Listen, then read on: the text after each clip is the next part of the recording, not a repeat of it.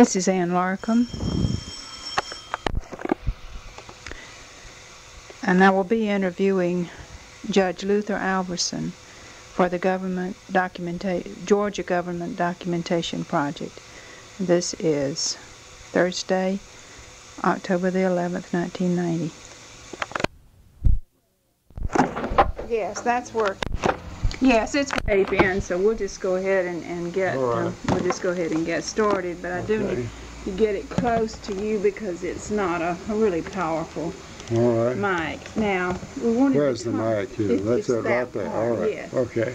Um, I wanted to talk first a little bit about your uh, background and your upbringing. And All you right. were born. Were you born in East I Point? was born on Washington Avenue or Street. Which is it? I, Avenue.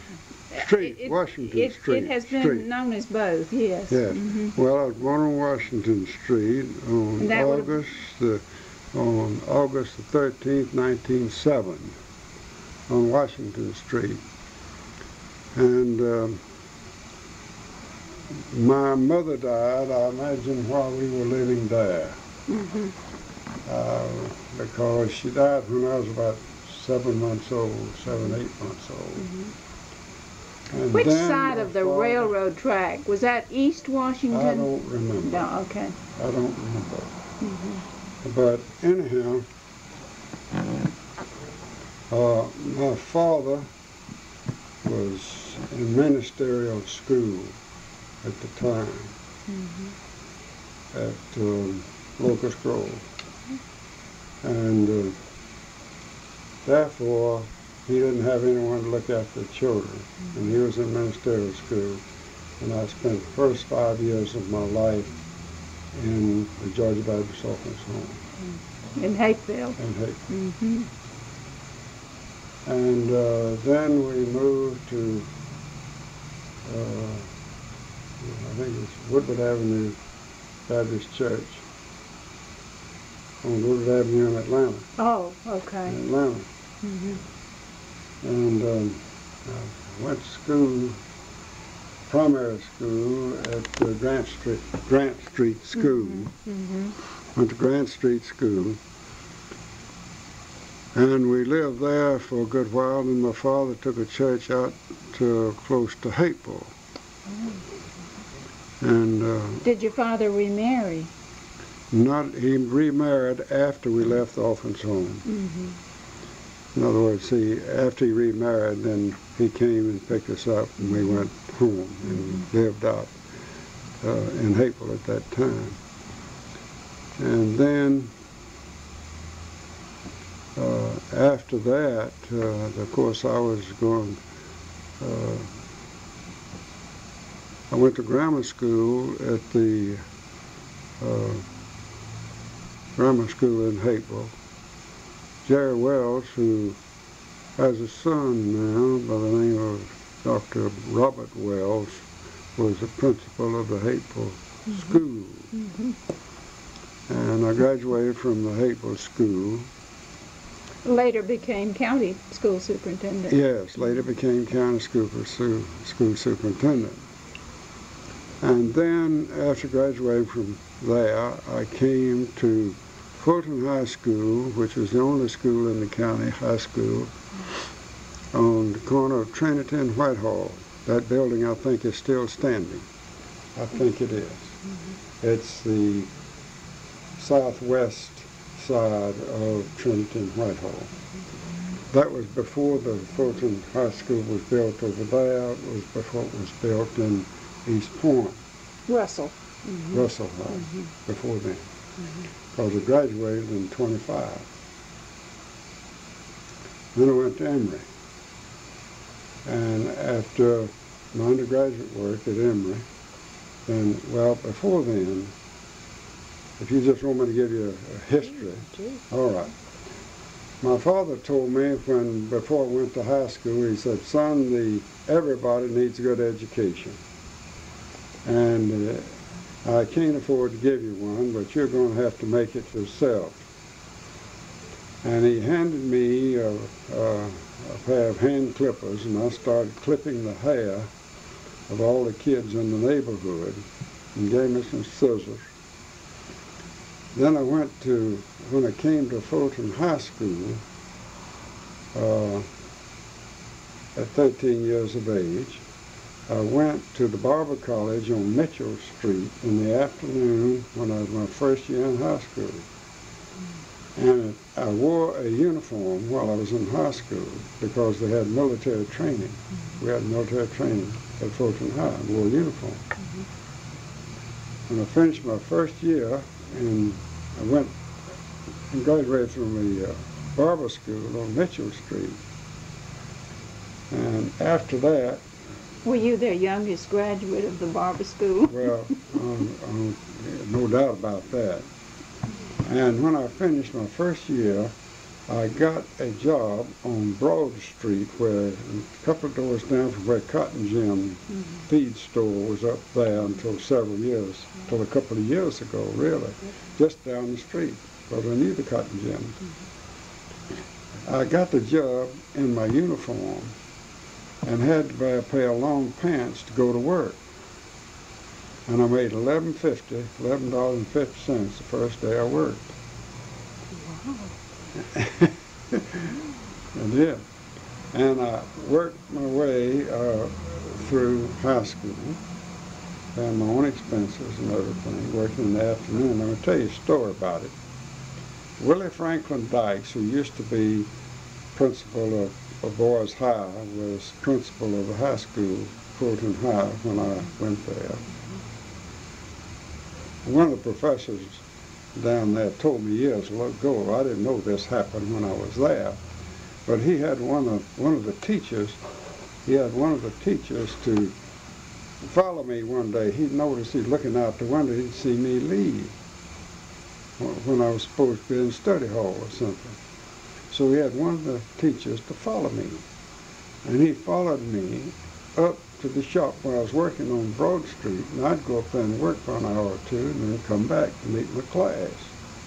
And he he said, "Don't you ever bother that fellow again. Let him go where he wants to, anytime he wants to go. Leave him alone."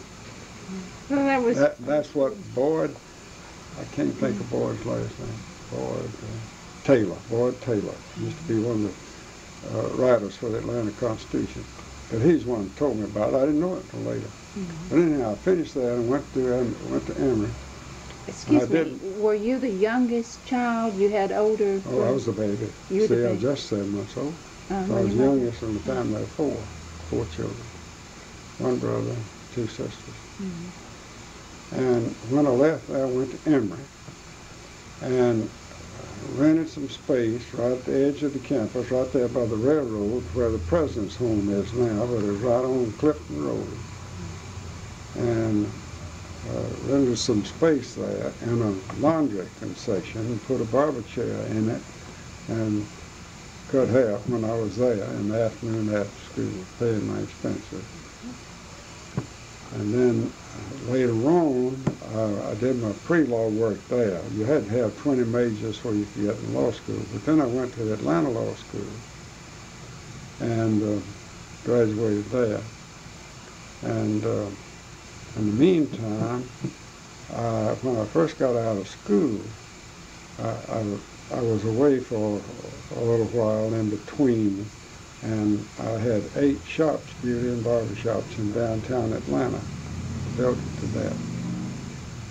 And uh, as a young man, I was elected uh, president of the uh, bar, so the barber associations and so forth uh, in, it, uh, in Atlanta. When you want me to stop? Huh? Well, uh, no, just go ahead. That, that's fine. Now, when did you go to law school? I graduated in 1940 and was admitted to the bar. I finished uh, in the middle of my second year in law school. I passed the bar mm-hmm. and started practicing law mm-hmm. in the middle of my law school. Mm-hmm. And I was, in the beginning when I first started practicing, I was being supported by these shops. But what happened when Social Security came in, I had eight shops and I was working on a profit of not more than amounted about three or four percent of gross sales would be mine. Uh, And after Social Security was passed, then I had to pay three percent Social Security.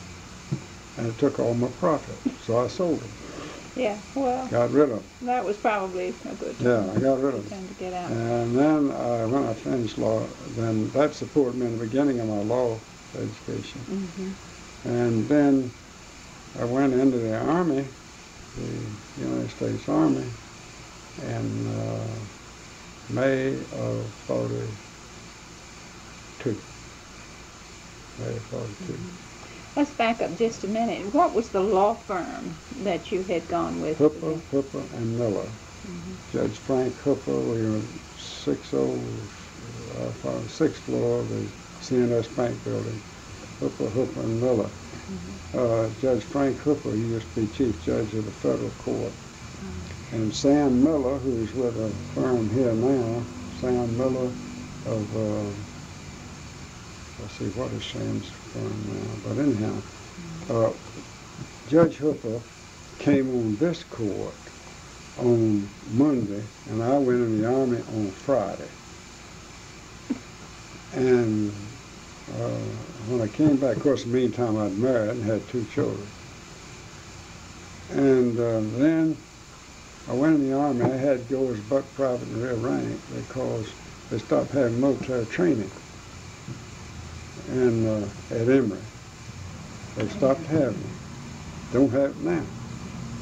But if I'd gotten into advance, I could have gone straight to OCS. But I didn't. I didn't get into advance. If, you know, the second second year they didn't have it, so I didn't get into advance. So I had to go in as about private and rear rank, World War II drafted. Had a wife and two children. Where, And, uh, all right. where, how long were you in the military and where where were you and a half years. Two and a half years. See, because now what I did in the beginning, I was in, sent to the infantry, and then after I completed my basic training, they kept me as what they call ECS. They put me as ECS, it's enlisted man's. Uh, to become a, a non-commissioned officer, you had to give you a graduate of school, which I went. They sent me there. My age, you see, I was 35 years old when I went in the army. But they were, they were drafting. Yeah, they were drafting. And so I went in. And then after that, uh, uh, later went to OCS and was commissioned in ordnance. And uh, after I was commissioned in ordnance, I went to the um, legal department of Chicago Ordnance. And was, we were there for one year, and I took my family with me there, and I was paying the same thing in for rent of an, of an apartment in Chicago that the government was paying me as an officer. So it didn't I leave mean, that was tough. So, Yeah. but I had I had some reserve, and it took a lot of it, of course, to keep my family and everything going. Because I had I made only fifty dollars a month, Mhm. and uh, I got twelve dollars a month uh, myself, and the rest went to my family. And of that, I'd send them seven, eight dollars a month. I wouldn't. I had. I was on a budget of three dollars a month. That's incredible. So times Well, tough. Yeah, the Now, war, where do you want me to go from the there? war When I came back, the war ended and you came back. I came back here and I walked the streets of Atlanta for two months and didn't, couldn't even rent desk space. Not a vacant office in Atlanta, Georgia. And after walking the streets for two months, I ran into Howard Candler, who was in me when I was there, and I said, Howard, I've been out two months trying to find office space. Can you by chance find anything for me? He said, I've got some in the Walton building, and you can have it Monday morning. So I rented a suite in the Walton building, got some other uh, lawyers in with me because they were dying. You know, the lawyers couldn't find space, but I had it, so uh, I got started. And then after that, where I got into politics, I was, um, in fact, I've been in the Second Function Baptist Church for years. And in fact, my wife and I courted there, and we were married 48, been married 48 years. And the court is there and was well acquainted in the Buckhead area, of course. And they asked me to head up a campaign to uh, uh, fight uh, the annexation of Buckhead, which I did. And my, at the time, my program was to, we would become a part of Atlanta if they'd reform the government. But they, and I came and ran for the legislature after winning that uh, campaign. In other words, uh, Bill Hussey and all of them were trying to get this done, and I defeated them, all of them. In fact, I headed up. Oh, so you were instrumental in that loss then, the first referendum. Yes, the first referendum was You lost. fought that. And I fought it on the grounds, we, we want a total consolidation of Atlanta and Fulton County governments. And we want that, and we're willing to be a part of Atlanta if you'll do this. That was my campaign. And Everett Millican and a fellow by the name of uh, Roy LeCraw, former mayor, he was running for the Senate. I was running for the House, and a fellow by the name of Jess Watson was running for uh, as the other member of the House. And Muggsy Smith was the only one from the city of Atlanta that was elected. We won all the all the races, defeated Everett Millican and all the people that had been in. Now, who is, who is we? Roy LeCraw. I headed it up. Okay. I was running. And the mayor, every time we get on a platform, he'd fight me and I'd fight him, see. And, uh, but anyhow, Roy LeCraw, Jess Watson, and, um, who else? I just said a minute ago. Oh, Well, well, I'll get back to it. But anyhow, three out of the four we were elected. And Muggsy was the only one that was not elected, wa- was elected. They called it the Four Horsemen. that's what I was gonna say. I had read in one of the uh, Four accounts that you were, that's right. in- yeah. Yeah, four horsemen. I headed up four horsemen, Mhm. and we de- we defeated that. And after I was elected, I uh, I went to Cincinnati, Ohio, and and uh, my own expense paid for the the doctor and Mrs. Reed, who Thomas Reed, who were the experts in the city government, mm-hmm. from outstanding experts. Mm-hmm. And I paid them and went up there on my own expense and paid them a fee to help me work out the best program of total consolidation. Now, was that, had anything to do with a Mr. Reed that had been here in nineteen, in the late Yes. nineteen thirties? Yes. And, and the Reed report? Yes. Yeah, okay. Yes, it did. And, uh, and the first day that I went in the Georgia legislature, first day I went in the Georgia legislature, I introduced a constitutional amendment to totally consolidate Atlanta and Fulton County government.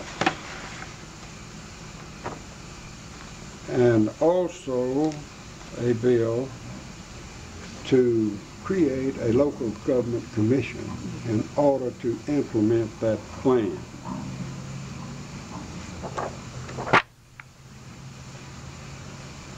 And these are Here's the that you, constitutional amendment. Here's the constitutional amendment. I was the only author to them. Here's the resolution. See whose name was first?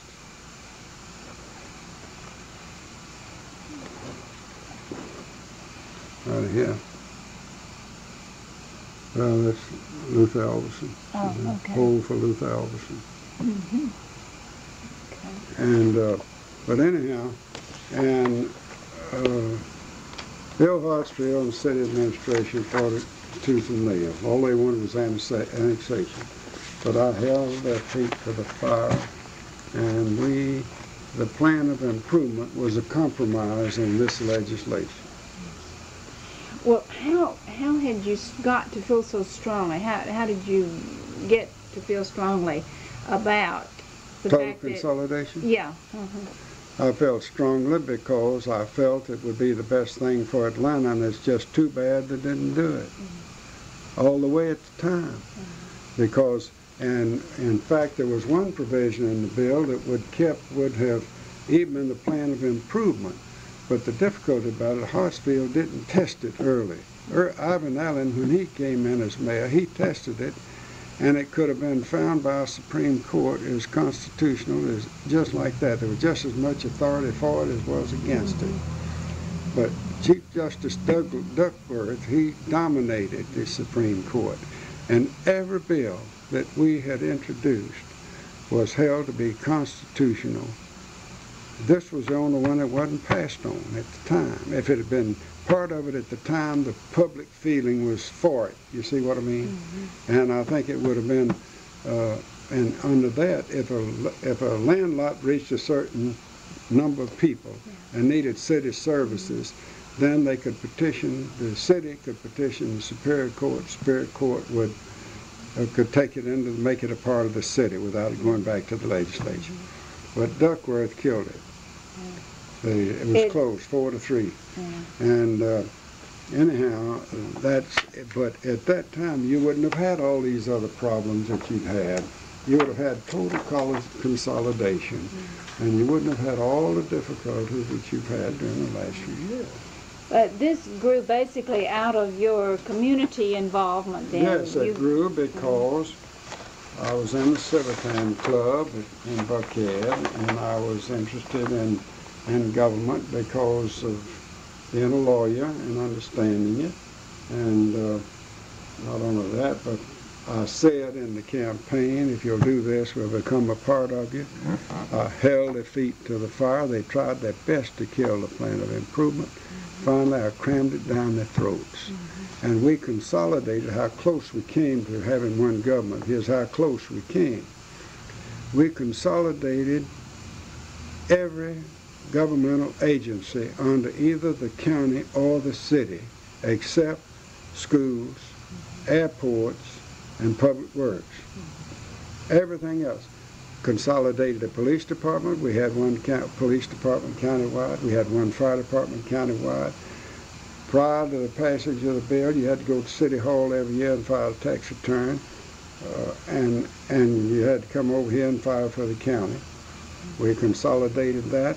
We consolidated the boards, the zoning boards, all these other boards, everything else, under either the county or the city, so you didn't have to go to both of them. I mean, we did, did a lot of, it's, it's a history of real, uh, we got, come, I'll show you. Well, now, when you introduced this legislation on the first day of the session for Mm-hmm. total consolidation, then what, what happened after that? All right, I'll tell you exactly what happened.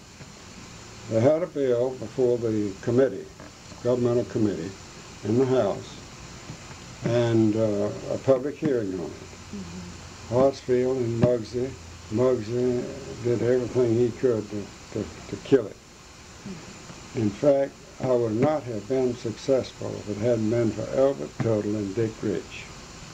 Now, Muggsy was part of the Fulton delegation. Yes. All of you. They He ha- had a right to veto anything. See, in other words, I, when I was in the le- legislature, we just had three in the House and one in the Senate. They got 28 now. Yeah.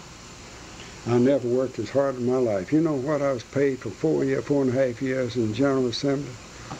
I was paid ten dollars a, a day for a maximum of 70 days, or seven hundred dollars for two years. That's and I worked from early in the morning till 11 and 12 at night. Mm. And I was in practice by myself that time. That was after the war, see. And I was in practice by myself, so I sacrificed for practice and everything else to do it. But anyhow, I just, if I get, if I, if I go after something, you better look out because I'm gonna get it done. Okay.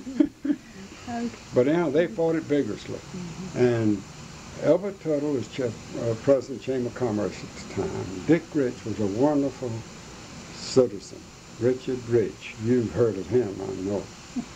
Well, Dick, they, they just made Hartsfield come around. When the plan first came out, I went over to Hartsfield, asked me if I'd come by. He'd like to talk to me about it.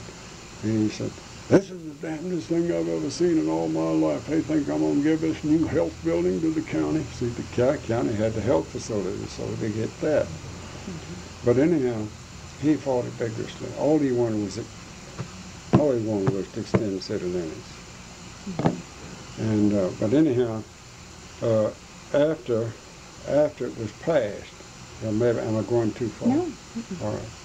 After it was passed, so I came on the bench. I immediately ran for the criminal court of Fulton County, down at the end of the hall and the other end of the hall. Well, I guess we should my- talk about the referendum uh, of its passage, you Yeah, know, it how it passed, it actually passed. got. Absolutely. Well, uh, well, it, I, the the cab delegation they opposed it too. We had to, we had to make give them a majority of the members uh, of the commission, and we had Dr. Allen Albert, who was a professor in sociology at Emory, to chair the committee, Mm-hmm. and we hired Joe Harmon, who's still living, Joe Harmon, and Hamilton Loki. not Hamilton Loki, no. Oh, he's an outstanding expert. He, he really did it for Joe. He and Joe, Joe, he was working for Joe at the mm-hmm. time. I just can't think. Well, who was the DeKalb delegation? Cab delegation, Pierre Howard, young Pierre Howard's father was there. The editor of the De- DeKalb County Era, I just can't think of his name. I could pull it out of the book here. Um, but I just can't think of his name. Tooley Hubert, who was uh, in the legislature at that time, and after that elected to the Superior Court out there. And um, Richard Bell, who is now on the Supreme Court, uh, was there one term. Some of these are terms. For example, Jess Walton was defeated after the first term, and Hope Smith came in. But at that time, we had the plan of improvement. Roy LeCraw was defeated because Roy, Roy didn't. well, I don't know. How do I not say it? I was very fond of Roy in a way, but uh, uh, he he he didn't feel as strong as I felt. But anyhow, we we got it done. And, uh, and then I, Cy Gordy, J. Forsyth Gordy, who is still living, bless his heart, he's he's out in left field now. He's about 93, 4. Is he the one that has He the was tire? at the Chamber of Commerce at the time. He was the head of the Central Atlanta Improvement Association Oh, okay. and a wonderful staff person that was just a great help to me. Wonderful man. And the Chamber of Commerce gave him to me to, to help. Hmm. We didn't, when I was in the I even had used my own secretary for my secretarial Well. You know, it, it was a sacrifice. It, and, and I, people don't realize what a sacrifice Yeah, the people right. make to is. serve in that. right. But now, uh, according to what I've read, um, there was a great deal went into promoting the passage of Oh, yeah, this. that's what I was about to get to. Gordy held up the Chamber of Commerce publication and get out the vote. He's the one that named it the Plan of Improvement. I didn't. Mm-hmm. As a compromise on my pro- program, mm-hmm. and we did 97% of it. Mm-hmm. And that's that's government. It's Well, compromise. yes, government See is what I mean? compromise, yes. But I introduced it. I told them I was going to do it, you know, and uh, I defeated them based on that, on my word, and I stuck to my word. What input did you have on selecting that commission that, that we we had to agree. The local delegation in Atlanta and Fulton County had to pass on it. The reason Fulton, I mean, I mean, Fulton County and DeKalb County had to pass on it. The reason DeKalb County had to pass on it, their delegation, and they had three members, we had three members. A part of Atlanta lies in DeKalb, and therefore they could veto any legislation. We couldn't veto, we could veto theirs, they could veto ours, you see. So it was a matter of trade and, and getting them to agree, but, but they insisted on it. And Richard Bell, if you talk to him about it now, he'd tell you he did it all, you know.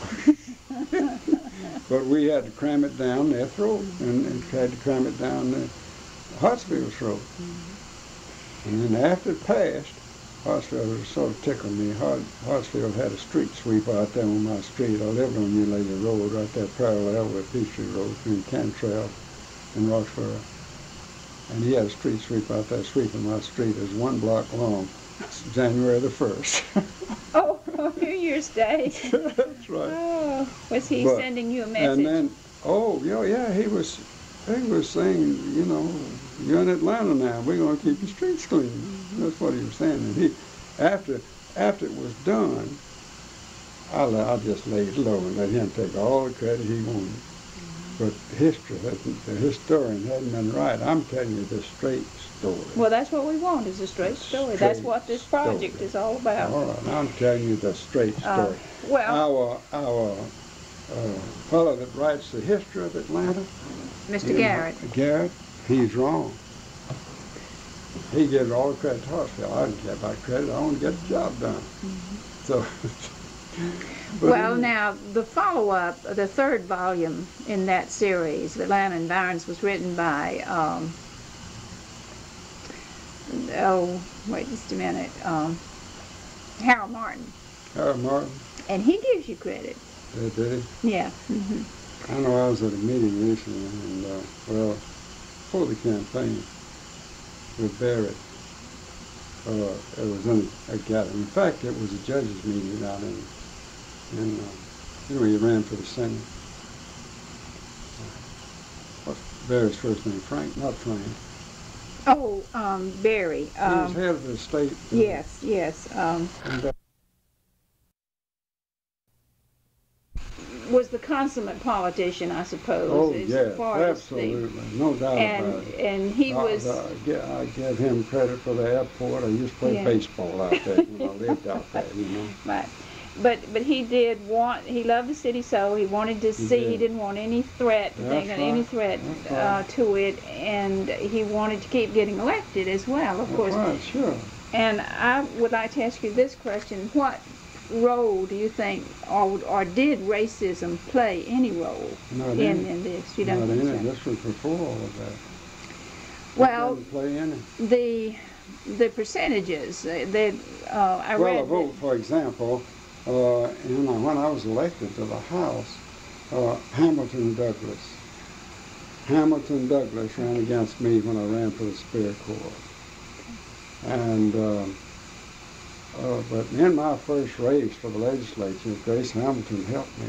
She was head of the, uh,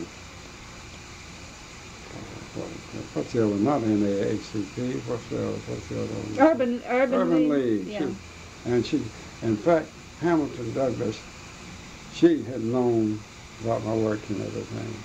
And Hamilton Douglas was on one of the boards at the Black College, He was on one of the boards over there. And, um, and Helen Douglas Mankin was his aunt, and she had strong support in the black community. And that was the hard part about my race.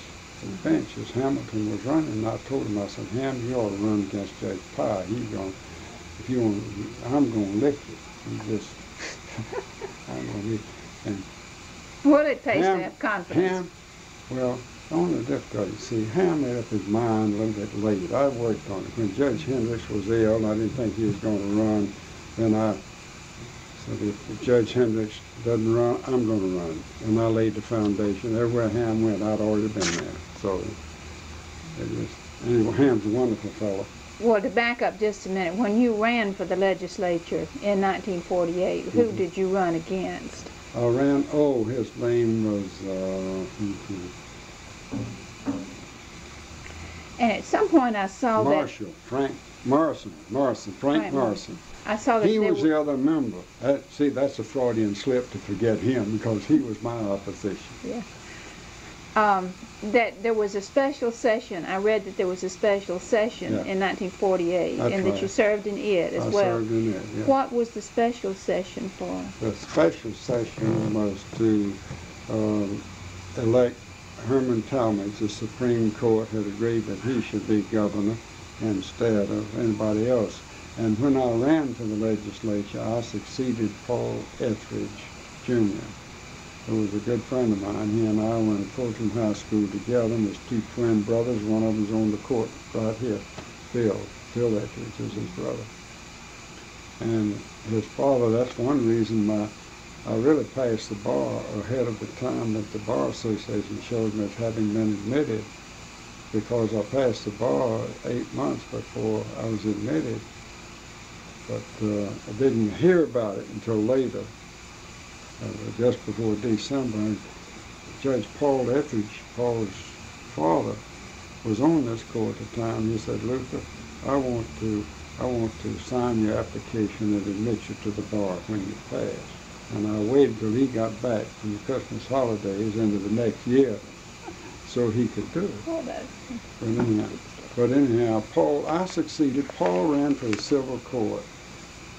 He, he resigned his seat in the legislature, and I ran for for Paul's vacancy, and I was elected for the special term and also for the new term. And then the next year, gosh, some fellow ran against. I've even forgotten his name. I don't remember them. I'll put them on the back seat. well. Pretty soon you didn't have any opposition. You, No, you no, so. no. But anyway, um, back to the statistics. Um, I read somewhere that even in 1950, Atlanta was already 41% black. Yes, it was. And that's what I started to tell you, is that Ham had this strong black vote. In fact, he got 55%, and I got 45% of- of the black vote. And the main reason I got the black vote, I took a strong position in a position. That was before, you know, that's when everybody was, uh, the school decision came out Okay, well, came can out you? while I was in the legislature. Oh yes. Now, can you explain then interposition? Well, I think I know what it is, but yes, it's it's a governmental function, and it was very it was very pro integration. okay. On that one speech, I I really got a lot of it, black folks on it. So we got the intellectual blacks to help. Yeah. And it was important. The black vote was important Yeah. then. But you don't think that it was a factor as far as Hartsfield's feelings were concerned, or Not his, at all. his no, motivation? no, no. Thing is, thing about Hartsfield, he he'd go to Buckhead 50 Club and he'd say one thing. In other words, he, they'd say something about blacks not paying any taxes. Said, what do you think we've got that city court down on Decatur Street for? We get $3 million a year out of that court. I mean, he was a good politician. He was a masterful politician, I'll tell you that. He really was. Well, then how about the strength of the black community and the black vote at that time? Because when the county, I mean, when this plan went into effect, the plan of improvement, then their vote was diluted considerably. Well, they did. Uh, They, there was no fight against it. They didn't Yeah. fight it. They didn't do anything against it at all. Okay. We increased the uh, uh, 80%. Increase the All the other statistics are just incredible. The, Yeah. it, the, the physically, geographically trebled in size. Later and- on, they turned, you see, but they after they didn't they didn't really exercise any opposition until they exceeded 50 percent. Oh, They were important in every election. Important mm-hmm. In every election, but it wasn't, uh, you know, is that way? Um, well, one of the things that was happening here was that Atlanta had been a municipality. And then once the plan of improvement was passed and, and, and started to be implemented, it was a metropolitan area. That's right. Right. And that was going to make some difference about many things. Uh, one was that the federal government was getting into the Cities Act at that point. They Yeah. had passed some legislation that was going to fund um, urban renewal, for one thing. Yeah, sure. Did you have any role in that, or did you have any knowledge? Had the Reeds said anything about I knew that Chuck Palmer, Techwood was one of, I think, the first public housing project in the United States. Chuck Palmer was a good friend of mine. In fact, I rented space for him in the, in the Palmer building in one of my shops for a number, long number of years. And Chuck was a wonderful fellow. Wonderful fellow.